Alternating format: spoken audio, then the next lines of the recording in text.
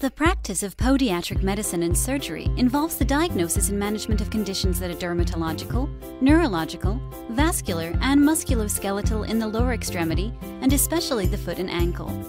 A podiatric physician can admit patients to the hospital, prescribe medications, order labs and imaging studies, make referrals, and perform elective, reconstructive, and trauma surgery.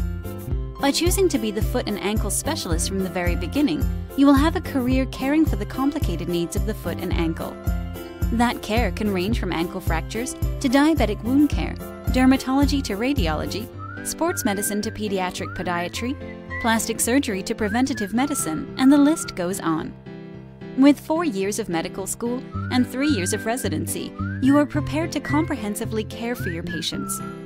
When you decide to go into the field of podiatric medicine, take a look at Western University of Health Sciences. We pride ourselves in making you a physician first by integrating you to learn about the entire body from head to toe.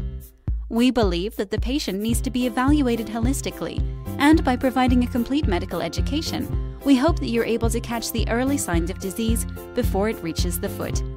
If you have not yet heard of the best kept secret in medicine, podiatric medicine, check us out today on westernu.edu slash podiatry or give us a call. Call 909 706 3933. Join us in improving patient care, saving limbs, and ultimately saving lives.